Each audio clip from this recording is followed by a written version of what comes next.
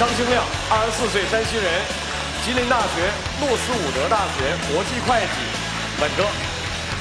尊敬的各位老板、各位老师、亲爱的同学们，大家好，我叫张新亮，二零一零年毕业于吉林大学莱蒙德学院，后又考入中美合作办学项目美国诺斯伍德大学，并于二零一一年六月取得美国诺斯伍德大学的学士学位。于二零一一年六月来到北京，开启自己呃人生中社会中的第一站。呃，于今年六月份开始，大约有一年的工作经验。这次来到非你莫属这个靠谱的平台，希望找一份。关于市场或者是销售等方面的管理类工作，谢谢。张老师好，欢迎欢迎。呃，是一一年去年毕业的。啊，去年六五月份吧，五五月份毕业。嗯。毕业之后干嘛了？呃，第一年说做销售呢。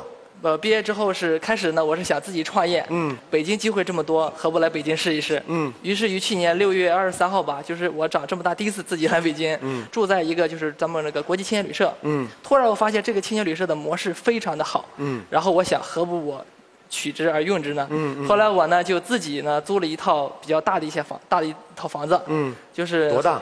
嗯，大约一百八十多平米吧，嗯，三室两厅那种大房子，嗯，然后呢，我就采取采取这个中青旅的这种模式呢，然后放上那个上下铺，嗯，哎，留下客留把客厅留出来，这样的话有一个公共活动区间，嗯，而且呢，我又制定了一系列的规章制度等等，然后把这个事儿办起来了。能挣多少啊？一个床位大约是七百多块钱，我是当我是在呃附近是最贵的，而且也是最火爆的。为什么最贵？因为我的服务各方面这个环境特别好，而且我只打高端品牌，就是在我这儿住的 必对必须是大学生啊。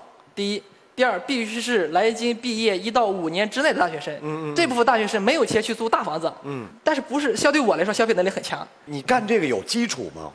有点基础，因为我最早的一次这个营销经历，应该说是在我小学二年级左右。干什么？呃，那个时候呢，因为咱们那个呃八零后嘛，小时候那会儿喜欢喝那个那个小冰袋嗯，就是就那个两毛钱一袋那个时候，嗯嗯，我爸呢就是可能一个礼拜两个礼拜只给我那么两块或三块，嗯，然后那个时候我就突然发现，在我们小学旁边呢有一个卖冰棍的厂，他那多少钱？他说一毛钱两袋儿。哎，然后我呢就花两块钱买了那么几十袋儿放在学校里边，我一毛钱一袋儿。我每袋挣五分钱，就每袋就翻倍了嘛，对对，挣五分钱，啊，卖的怎么样？卖的挺好，有段时间挺火的。后来我们那个小卖店老板跟那学校反映这个情况，说没人到他那儿买冰袋了。嗯。后来那个呃，就是我爸知道这事儿，就是就严厉禁止了。少刚他是山西人。山西人有这个经商的，有经商的 这种，其实，在血液里面有经商的气质，你觉得啊？从语速还有外貌啊，就透露着那种精明相。那如果在未来的面试当中，能够啊着重的把自己的踏实跟勤奋还有韧劲儿展示出来的话，求职的成功面就更大了。好，新亮，新亮，嗯，我对你的青年旅社很感兴趣了。所以你刚刚开始做的时候，你是怎样去找到这些客户的？第一个方面是我在这个呃姚总那个网站。疯狂的发帖子，然后发帖子呢，但是我这个帖子比较有特色一些，就是我告诉大家，呃，对，这是关键，怎么发帖子？发帖子的时候我会发说，呃，某某旅某某青年旅社，逗号，纯木床位，因为我那个是，因为我那个是唯一一个周围有木质床位的一个地方，纯木床位。木床位。对，逗号。逗号。后面，只招在只招大学生学历水平住户。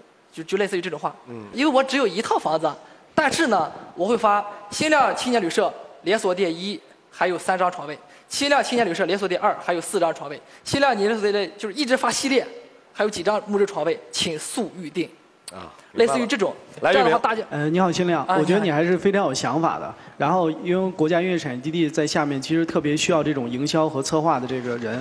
然后，我想问一下，就是你在做这个营销和策划，你从哪几个角度来去考虑这一件事情，来怎么样去策划这一件事情？这第一个问题。第二个问题就是你自己觉得你身上的优点和缺点是哪些？好，呃，如果说如何策划一个问题的话，我一般会考虑，呃，假如是一个项目。这个项目的市场是什么？嗯，市场定位要准确。第二，它的那个就是盈利模式是否非常科学、紧凑？嗯。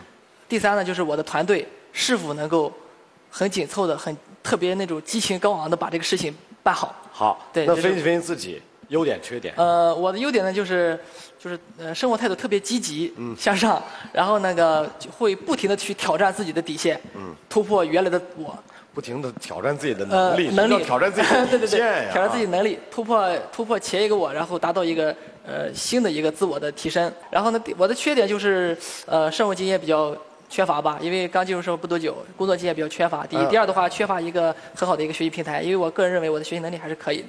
来，十二位初步印象做出判断，是去是留，选。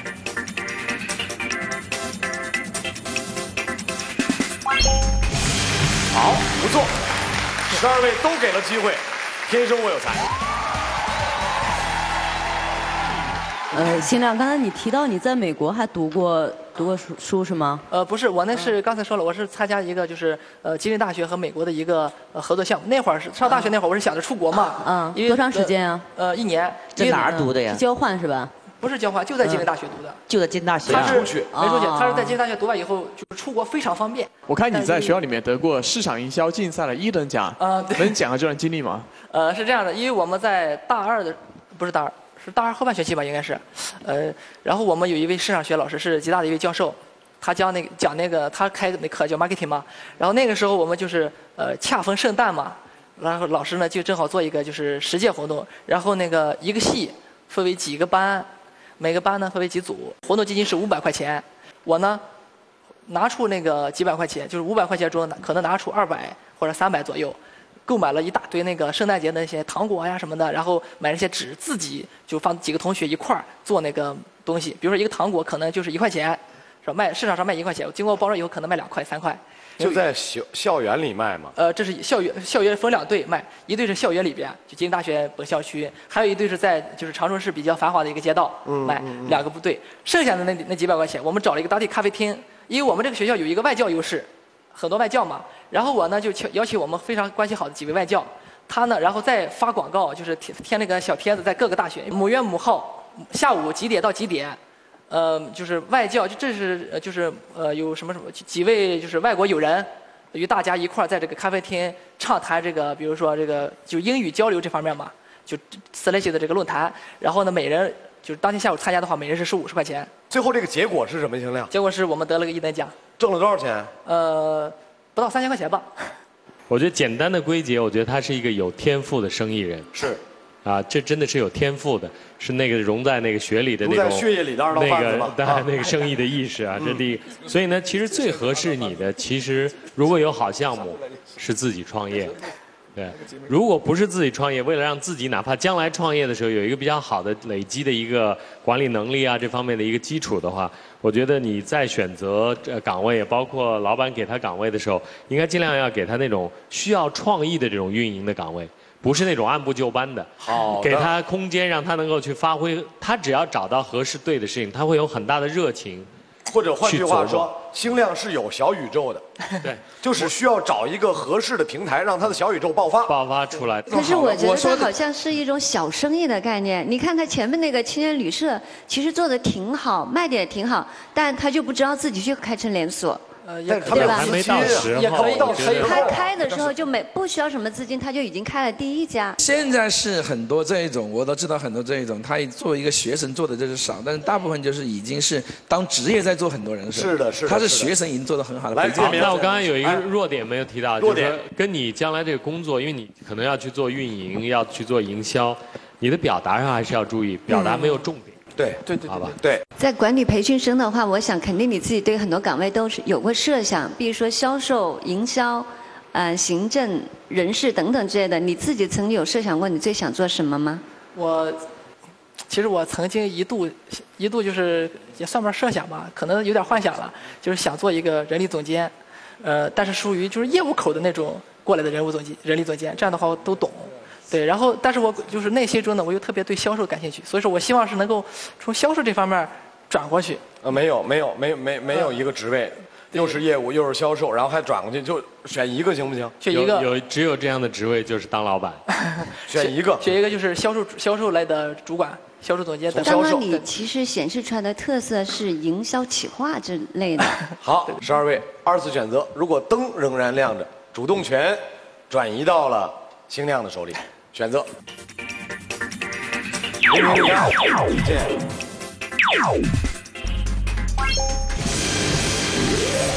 好，不错，不错。虽然那么啰七八嗦，但是大家也留下来，说明什么？确实有热情，而且动脑筋，对不对？来，优胜教育。星亮，我觉得那很有潜力啊，但是跟我的判断一样，就是我还是希望你从基层开始接触起。嗯。所以给你的是优胜教育市场部的一个市场专员的岗位。市场专员，好，咖啡之意。我觉得聪明、伶伶俐、有热情，挺好的，而且很阳光。我给你的岗位是营销专员兼管理培训生。聚美优品，新亮啊，你好。你好。呃，我给你职位是我们市场部市场专员，这职位说实话是我自己直接带的，而你也知道，聚美优品是非常重视市场营销的，所以我觉得是个非常不错的职位。好，来，呃，五八同城给你的岗位是运营专员，运营专员。两个环节，一方面你用过五八的信息服务，另外一方面我们要在做电子商务，这两方面的运营呢。来，帅康电器，两个岗位供你选择，一个岗位呢是厨电的工程经理，厨电、厨房家电的；啊，另外一个岗位呢是橱柜、橱柜的区域经理，这两个呢职务呢是平级的。来，大街网，我希望提供给你的职位呢是两种，一种是那个市场专员，呃，就是偏营销策划这个类型的。第二个是这个呃销售专员。好的，来，一个是营销策划，然后一个是销售的，呃还是基础的岗位，销售的专员。好，好，谢谢。经过思考，走上前去，把其中的五盏灯灭掉。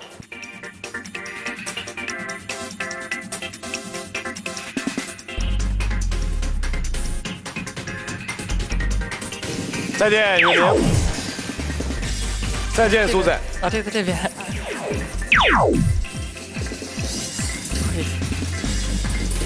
再见，春华。再见，陈浩。再见，尹峰。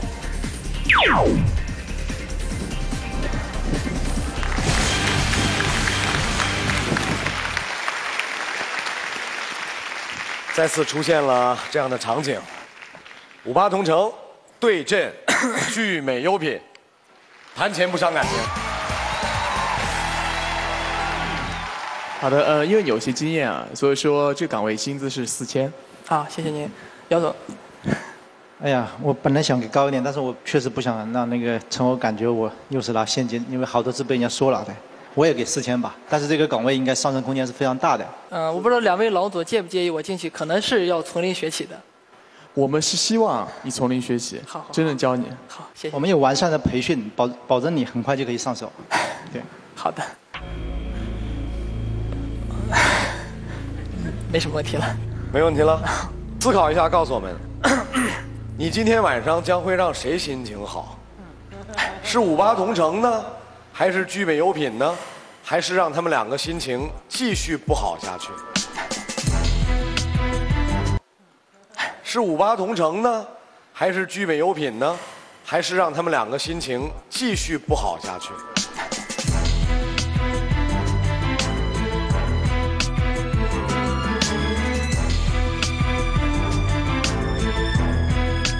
我选择聚美优品。